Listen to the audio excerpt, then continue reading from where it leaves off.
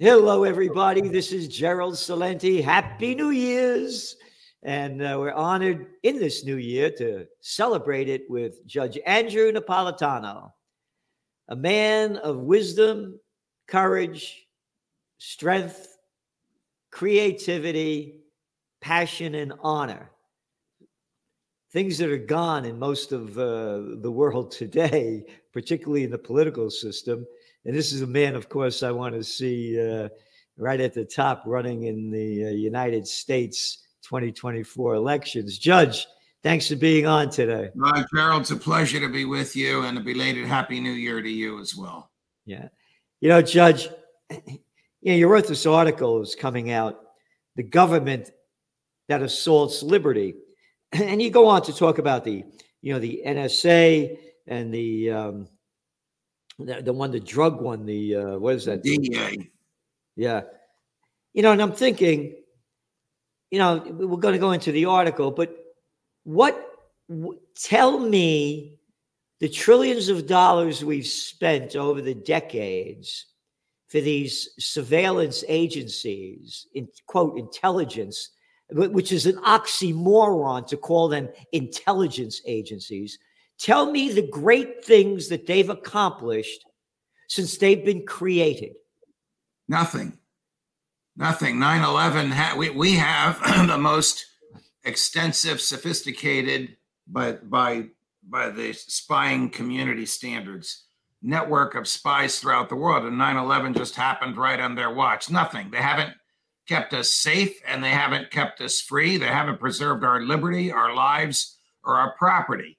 They've just taken hundreds of billions a year. The budget is secret contrary to the Constitution, which says no money shall be spent from the federal treasury unless it's recorded in a public journal. Um, so they've taken our wealth, they've taken our liberty because now they use our. I'm holding up my my cell phone. They use our cell phones to track us, to listen to us, and to download what's in here, which is what the uh, article uh, is about. They take our property, they take uh, our liberty, and they don't protect our lives. So they haven't accomplished anything.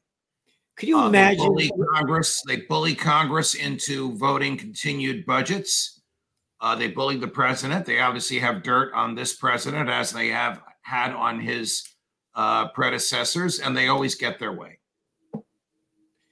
you know, this is, tell, tell, you know, you were mentioning about, you know, the, by the way, you know, I don't carry a cell phone. I'm probably one of the only guys left in the world. That Tell me have- about it when I'm trying to reach you. I got, I got a, I have an old flip phone that I hardly know how to use. But you know, you wrote this article about how you know they're they're, they're spying on us and, and going into our cell phones and our computers, and they're right in front of everybody's eyes. And all they do is they they change a word or a name of something, and they just keep on doing it. So tell us more Correct. about it. All right. So, uh, in the Trump administration, probably without Trump's personal knowledge, but with the knowledge of his uh, appointee to run the FBI, Chris Wray, the FBI purchased something called zero click software. Zero click means you don't need to trick the person to clicking onto a link in order to get into their uh, computer. Uh, you just need their coordinates and you get into the computer. What do you get? You can download everything that's in there. Well, to Biden's credit, when he learned that the FBI had this, was using it, he told them to stop using it. And he told the uh, Secretary of Commerce to ban Americans from purchasing anything made by this Israeli uh, company. What did the intelligence community do? They found another Israeli company that manufactured a nearly identical product and they started uh, buying that. Question Why didn't Biden, instead of stopping them from purchasing a particular piece of software, instead stop them from spying on Americans without a search warrant? Congressman Adam Schiff, Senator Ron Wyden, two lefties, one in the House, one in the Senate, but like a, some lefties, faithful on civil liberties, exposed all of this. They attempted to get the Congress to prohibit the American Intelligence Committee from using this. Congress wouldn't go along with it. The right. most they could get out of Congress was let's let the director of national intelligence decide. Well, what is she going to do? She's going to let them buy whatever toys they want. Why didn't the Congress prohibit spying on Americans without warrants? The answer to both of these questions is the same because the intelligence community has dirt on Joe Biden and dirt on enough members of Congress that they Congress and the president wouldn't dare defy the intelligence community. It will not restrain them and it will give them ever increasing budgets to buy whatever toys they want. You asked me earlier, have they accomplished anything? No. 9 11, George W. Bush, on your watch, your 60,000 uh, spies did not keep us safe. This is terrible what's going on here. And, and again, you know, you know they're, they're spying on us. Correct. On we the Correct. people. You take you take a trip to Italy. I go to Italy every summer. Thanks be to God, I'm able to do that. You like going to Europe. These uh, intelligence communities take the position that when Americans are overseas, the Fourth Amendment doesn't even apply, that they can just download whatever they want from your conversations and your communications. Now, the Supreme Court has rejected this argument that the Fourth Amendment only applies in the US since the FDR era. The Supreme Court has said wherever the government goes, the Constitution, excuse me, the Constitution goes with it. But yet, DEA, FBI, NSA of both uh, under presidents of both political parties, Republicans and Democrats, continue to make the same argument. Outside the US, we can do whatever we want. We're just waiting for Americans uh, to go outside the US so we can spy on them with abandon. That's where we are today. The American public needs to know this. They don't always like what I write, but they need to know what the government is up to, what the government is doing with their money and, and their liberty in their names. Well, you just said the American public needs to know this.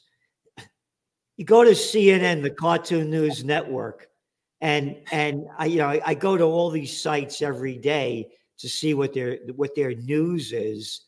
You know, some guy that plays an, an actor that got hit by a snowplow is is the major story. Yeah. I don't even know who this guy is. And so what? You know, what do I care? Yeah, it's terrible he got hit by a snowplow. What what the hell are you telling me this stuff for? This isn't news.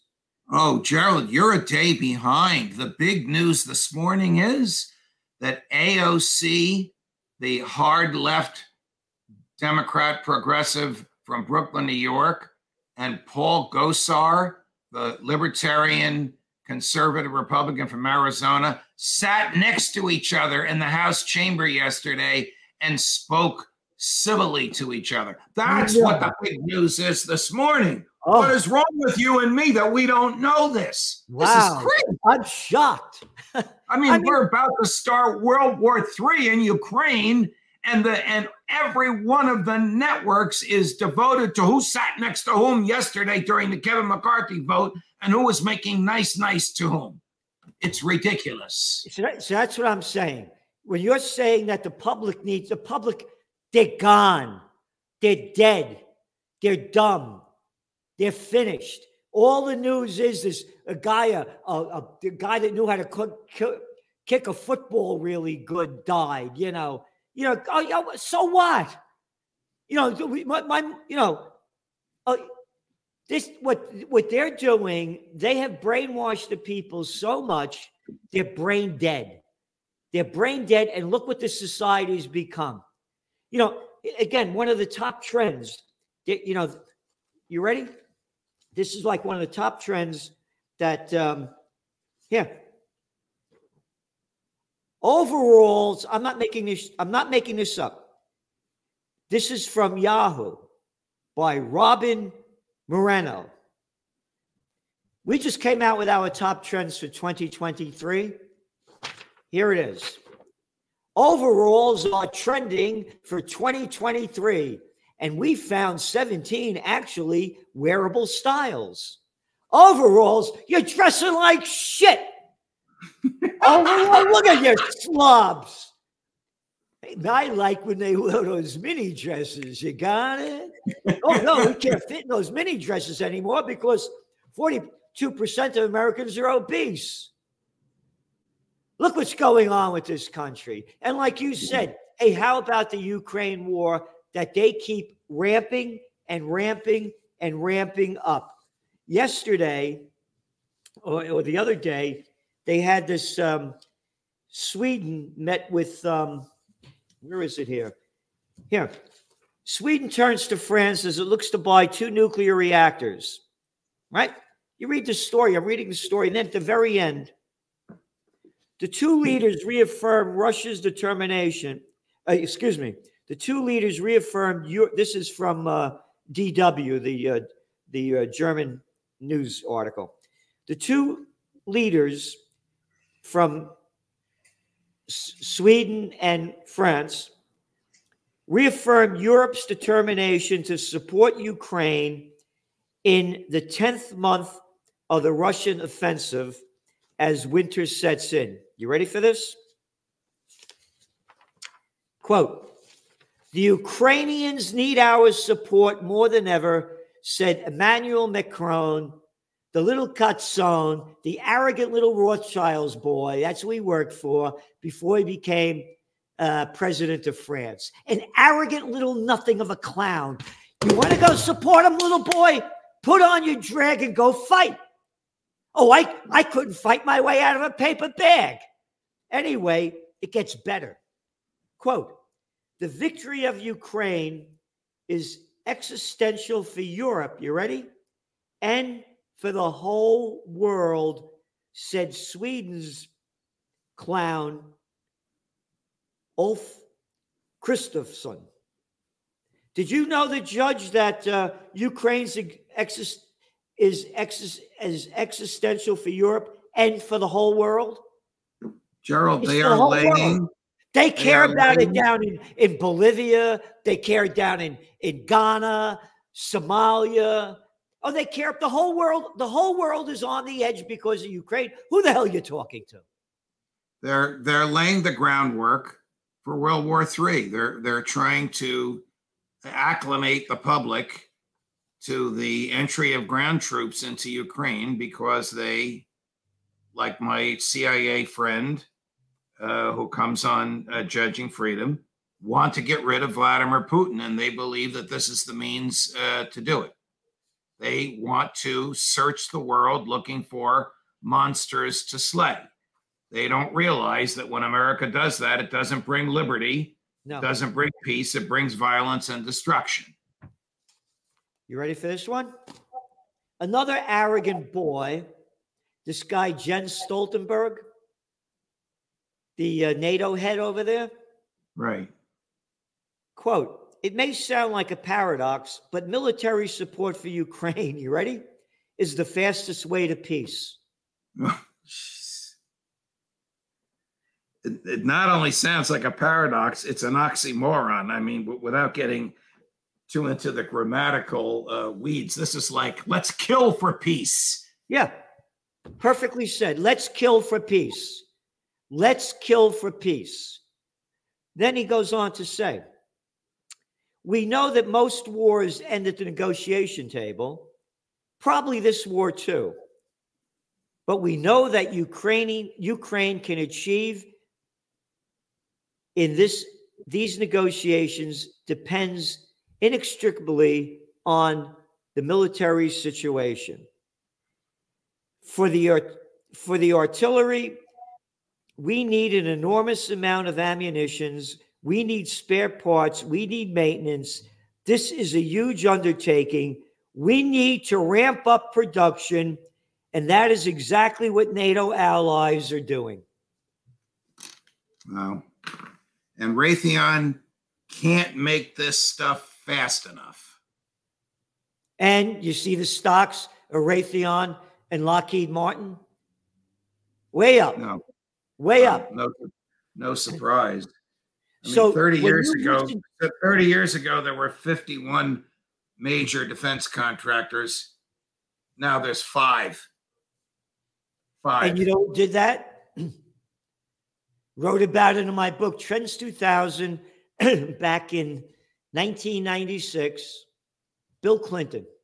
Yeah, that's when it happened. Yep. Yep. Lockheed Martin merging all the companies. Yep. Right. And, and that's right. why they pay that little clown, that arrogant little boy that every time he got caught with his pants down, bombs away over Baghdad. What do you think they pay him? $300 and 300,000, $300,000 to speak for one hour. Are you talking about Bill Clinton? Yes. Yeah. I, mean, I don't know if he still does that anymore, but he was he was doing Yeah, that. he, he for was a while. doing it. Yeah, Yes. that's payoff. You can hear this guy bullshit for free all day long. Correct. Correct. So then, then when we're looking at this and how they're leading us into war, you you had said, and I I followed up on this. Well, first of all, they got um, they're now talking more and more about nuclear war.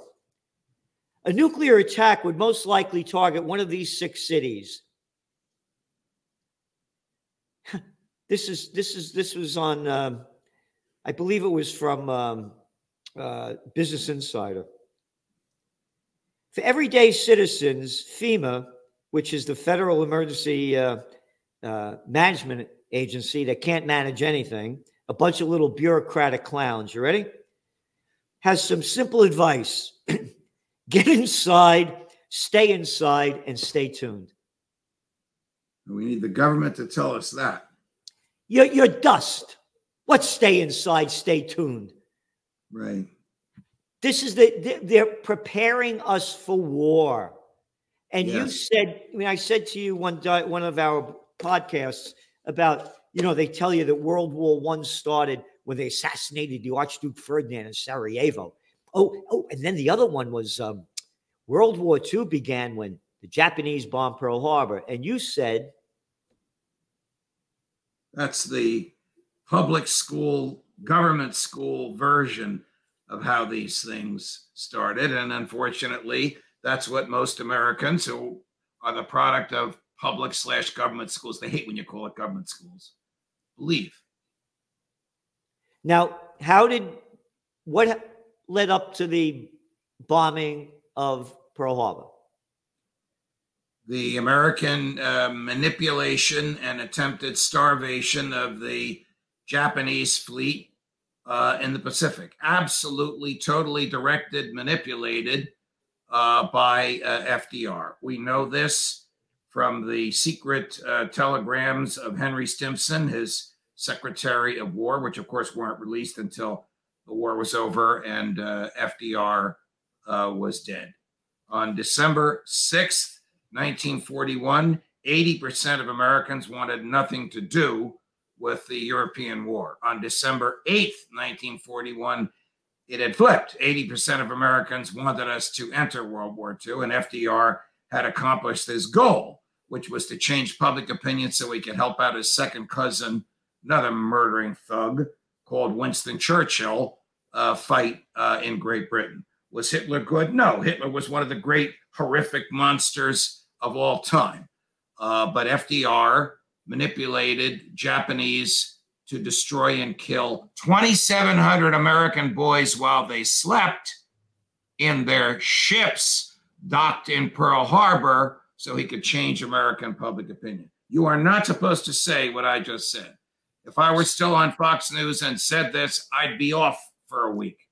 But it is now well accepted historiography, the history of history, that these facts have been suppressed until recent times. And most people don't know about this. Correct. So now, when you said this, I went online and I, I put that in there. You know, why did uh, uh, the Japanese bomb Pearl Harbor? And it came up in that, that site history. And this day in history, July 26th, 1941. United States freezes Japanese assets.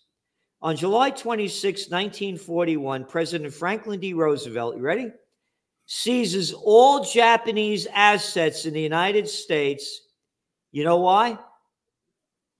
In retaliation for Japanese occupation of French Indochina.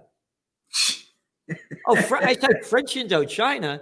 Oh, you mean when the French took over Vietnam? when the French took over Laos, when the French took over Cambodia. Why, how dare the Japanese go in there when it's the French colonized it? You know, when my buddy and I went to Vietnam in 1996, like we were the first Americans in there but after the war, they you know they wouldn't allow people in there. We went to the museum, one of the museums in, in Saigon. They had the guillotines there from when the French were there chopping off people's heads.